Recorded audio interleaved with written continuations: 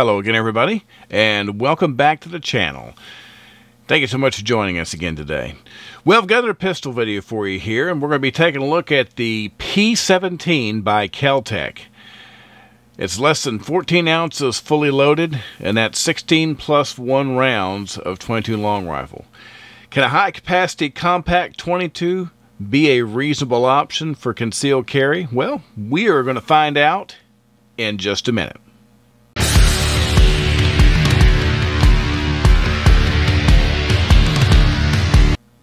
All right, once again, welcome back. Thanks for being with us. If this is your first time coming to the channel, or if you've been watching our videos before and you just haven't had a chance to do so until now, and you like our content, please consider subscribing. You can locate that subscribe button in the lower right hand corner of your computer screen, or if you're on a mobile device, you can scroll down below the video and you can subscribe that way. It's a simple thing that helps set a whole lot, and we really appreciate it.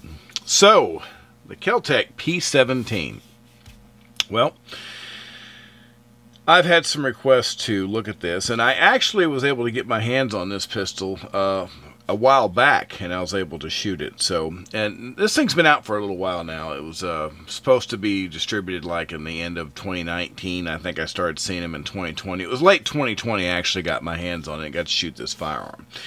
And um, so, interestingly enough, um, I wasn't expecting a whole lot because with 22s they're very hit or miss. You know, I've had some that perform really well and some that were not so well. So I didn't have super high expectations either way.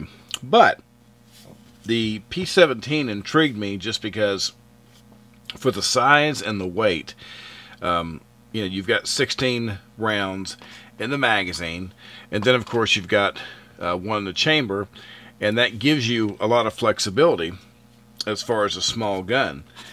And, uh, you know, so if you carry the two extra mags with it, you've got quite a bit of, uh, of ammunition on you for a carry gun. And we'll get to the specs there in just a second, but it's just something to think about. That's, that's quite a bit of, uh, of, of rounds to have on you at one time. We always like to do a little size comparison. And um, so the first thing I'm going to do, the gun I had just lying around that was closest in size was the Glock 43X. Of course, once again, this comparison's got nothing to do with caliber, features, or any of that. It's just kind of a generalization for size because if I'm going to carry a gun, I like to look at something I have that's about the same size and think about what it's like to carry that gun. Think, okay, I get it. And of course, the Keltec is a lot lighter than this Glock. So, as far as comfort goes, that goes a long way. This thing's only 14 ounces fully loaded, which is crazy. It is so crazy light. And of course, the it's a polymer gun. Lots and lots and lots of plastic in this gun. Uh, there's a lot more metal in the, the Glock. But, um, of course, the ammunition for the Glock to be a lot heavier, too. But just to kind of give you an idea of, of size, that's what you're looking at. So, whether you decide to carry this in the waistband or whether you made this, uh, you know, put it in like a sticky and put it in your pocket or something like that, it's obviously going to be easy to carry. You get a pretty good idea of the size. All right, let's jump right into the features here. But before we do, let's take a second thank our friends over at Don's Weaponry for providing us this beautiful example of the Keltec P17 for our tabletop review today. Don's Weaponry is a huge supporter of firearms safety and education, and we can't thank them enough for their support. So, as we take a look at this thing, um, I'm going to do a typical top-down analysis like I normally do here, and you can see that you've got a um, fiber optic front sight, and then you have your uh, adjustable rear sight here, which is kind of nice. Um, this is actually, and we'll discuss this more in the range section, but it's a, a pretty accurate weapon. So being able to get your sights uh, dialed in the way you like is going to be a definite value on this, and um, it's a pretty good setup. Now, you look at the front here, the barrel, they actually do give you the kit to convert this to put your threaded barrel adapter on here if you want to Run a suppressor on this, which is nice. They give you that for free. Your Picatinny rail, if you like to put lights, lasers, or whatever on the front of your firearm, be able to do that. Um, the safety here, you can see it's ambidextrous. And the magazine release, you can see that we have an empty mag, and we'll go ahead and show you that we're clear at the same time. You can see there's nothing in the barrel and there's nothing in the firearm there. So we are good to go. This is more of a European style magazine release, you know, where you've got the piece on either side of the trigger guard there on the bottom. And I like that. That's what I typically see on my H&Ks and sort. Um, disassembly of this weapon, um, it's a little interesting. But basically, once you pull back on this all the way, you've got these tabs here that you pull down and once you pull these tabs down and lock you can just pull up and this will come away and then you'll see your barrel which is fixed. Um, but it gives you access to everything you need to clean it. It's really not that complicated. Um, now the way the weapon is made if you're going to do anything beyond that I always tell people that as far as your basic cleaning and maintenance that's fine um, for a lot of these weapons, if you're not a gunsmith or someone that does a lot of this, I would hesitate going any further than just the basic cleaning. Uh, most good gun shops have got a gunsmith, or at least they know a handful of good gunsmiths in the area that you can be referred to. So anything beyond that, that's probably what I would be doing. Trigger guard's pretty good size, which I like because I've got longer and bigger fingers, which I like being able to sweep in there without having a lot of complication. The trigger, I like the trigger on this gun. Um, the only thing about this trigger is it'll fool you because normally when you're shooting a you know any old firearm and you pull the trigger, you reach a point where the trigger where you feel it start to you know get to the end. You can you can feel the pressure building like you have a wall. You come in and you can feel it. With this one, it kind of doesn't really have that. And I'll cover that more in the range section. But the trigger is very good and it's and it's it's a repeatable performance. So you get the same kind of feel every time you shoot this thing, and I really like that. Um, it's kind of a weird grip. Of course, you've got this big rise here where the mag release is, but it ends up fitting your hand pretty well. It is kind of a weird plasticky feel. Um, I'm not the biggest fan of the way this grip feels in my hand. Um, to me, it does feel very cheap. But you have to remember we're talking about a uh, you know a $200 retail firearm, and for what you get for $200, I don't think I'm going to complain a whole lot that the grip doesn't have a you know a fine texture built into it because that's probably money that was easily saved uh, to do other things. But um, it is a pretty small package and I think for the money like I say you get a total of three magazines with it plus you get the threaded barrel adapter. Um, it's really not that bad. So if you're thinking about a 22 and you're thinking about something you might actually carry well you know magazines obviously uh, there's always money in spare mags so you can see what you get out of the box it's a pretty good value. So talking about the range, well, like I said, you know, we're talking about an MSRP $199 gun here, so didn't have really high expectations. But when I got to shoot this thing for the first time in late 2020, um, I was actually really, really impressed with it because of a couple of simple things. I've got a lot of 22s, and no particular reason. I've just managed to pick up different ones along the way that uh, that I've liked for different reasons. Um, whether it's a revolver, the little Ruger LCR and 22, this little eight shot, I like it quite a bit. Decent little gun, um, or something more precision shooting. I've got my little Sig Sauer. Uh, 1911 22. This is a whole lot of fun if you like to go out and um, shoot at things if you want to practice a lot.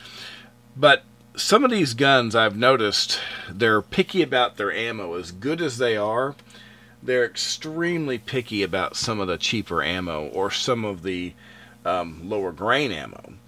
And I know that, for example, all day long, and most people probably have experienced this, if you're running if you're running CCI, um, it's pretty reliable. I could run the mini mags through this thing all day long. Another bullet that I like that I buy a lot of is the Remington, the Golden Bullet. I have never had a single problem with these in any 22 I've ever owned. So if you're if you're just curious, um, these are generally a little cheaper than the CCIs, and I've never had a problem with them. So this is a great round. Um, if you do have the suppressor on, um, CCI has this little some subsonic rounds. These are the segmented ones here, and uh, they're a lot of fun to shoot. The only round I've ever had a lot of problem with with some of my higher end 22s was the uh, the Federal, and I, I just couldn't understand what the problem was. But no matter what I've done, um, especially some of the 22s, I've got several of these 22s, and they have a hard time cycling. Um, this round just doesn't have enough energy to, to cycle the slide on this, and I got to where I won't run them at all. But when I used this round in the uh, Keltec, the Keltec didn't care. I brought all kinds of rounds with me um, when I got to have my shoot fest with that uh, Keltec initially, and I can tell you that it's not picky about what ammo you put through it. And I'm sure that if you shoot enough rounds, obviously you're going to get a, a stoppage of some kind just because the gun will get dirty or whatever. But uh, in initial testing with, you know, several hundred rounds, there was no problems like that at all. So now let's get down to accuracy. Okay, so if you don't believe me about accuracy, you can easily search um, any 22 fanatic who's made a video on shooting this thing to death. You can watch and see how accurate this is, and um, and really, like I say, if you have your rear sight set up correctly, you've got a good high visibility uh, fiber optic front sight. This is a very, very accurate firearm. Um, the trigger pull, they say, is three pounds. Uh, that's about what I got with my scale, 3.2. So it's got a very good trigger. And like I say, the trigger is interesting because it doesn't really have you know, a wall. It seems that you, you pull on it, and as soon as you're at that point where you figure out to get some resistance, it's firing. And it has a very reliable and consistent reset on it. Once you get used to the way this firearm shoots, you can really send some rounds down range with it in a really nice pattern. And it does really well. So, if you want accuracy, well, you know, 22 is a good round for practice to work on your skills anyway. But the Keltec, as inexpensive as it is, you know, all jokes aside, people can say what they want to, but it's a very accurate little firearm. And like I say, you know, we're talking about, you know, super light, fully loaded. So if you're considering something uh, for concealed carry and you tend to lean toward 22s, um, the Keltec P17 has high capacity it uh, seems to be very reliable and it's very accurate, so it's definitely worth a look. So if you do decide you want to carry the P17, there's a lot of options for doing that. Um, you can get a custom Kydex holster, obviously. You can get a leather holster. There's lots of things you can do, but as small as the firearm is, you know, this is something that could almost go in your pocket. Um, I know a lot of people have their varying opinion with stickies, but um, I carried this in a sticky holster and it was so comfortable, it's just absolutely ridiculous. Like I said, this thing weighs 14 ounces fully loaded. Um, you can take a sticky holster like this, you can fix it in your waistband, and once it's there, it's so light, and of course, with a tight belt, this isn't going anywhere. Um, whether you wear it at 3 o'clock, small your back, wherever you like to carry your firearm, you can do it. Um, plus, you know, in a sticky, I still retain the option to put this in my front pocket, which I've done that too, and I carried it both ways. Um, in both situations, the firearm is so ridiculously light, uh, it's like you don't even really know that you're carrying it. I think that uh, people who carry 22s, um, they generally have different reasons. Uh, people I've talked to that carry them, they say it's about you know capacity. They, they know the 22 is not the most ballistically capable round, but it it obviously with good shot placement can work. But they are convinced that with capacity they can make up for other shortcomings, and with the ability to carry, you know, um, 16 rounds plus one plus two more 16 round magazines on your person. Um, if that should be more than enough to deal with any possible situation. Plus, if you like to just do shooting, having the extra magazines is a lot of fun. But uh, it's very light, very easy to carry. So whether you did a custom uh, holster, whether you did something simple like a sticky, it's not going to be any problem at all. Overall impressions of the Keltec P17. Well, for me, if you're looking for a firearm that's got high capacity, if you're an individual that uh, feels comfortable carrying 22 long rifle, for an MSRP of $200, 17 rounds of 22, accuracy, and seems to have pretty good reliability, I don't really see where you can go wrong. Now, yeah, there are some things that could be better. Um, I'll be the first one to admit, you know, I don't like the the. It's got a really slick, plasticky feel. Um, if I was going to carry this for the inconsistency, I would have to do something. I'd have to put some grip tape or something, just so when I grab this, I feel like I've got a good positive feel on the firearm. Now, if I'm just practice shooting, if I'm just plinking, having fun, it's fine just the way it is. But it just feels way too slick to me. I'm not a big fan of that finish. Okay. And, you know, it's not going to win any beauty contests. But it's a firearm. I think people get way too caught up in how a firearm looks sometimes versus how it functions. So, you know, if you're if you're wanting to know how I feel about a $200 firearm that so far doesn't seem to have any real issues, I'd say, you know, be as comfortable as you want to be. Um, and as inexpensive as the firearm is, you know, it's a it's a good little backup gun that you can keep if you need to keep a, a spare gun somewhere. Um, you know, and don't want to put a lot of money into it. That's one you could do. Um, to me, it's been really good so far, and until I see a reason to say otherwise, I don't have anything bad to say about it. So that's going to wrap it up for the P17. All right. Well, we appreciate you being with us as always, and uh, we're going to be back very soon with another video for you. So until that time, as always, everybody please be safe and have a great day. Thank you.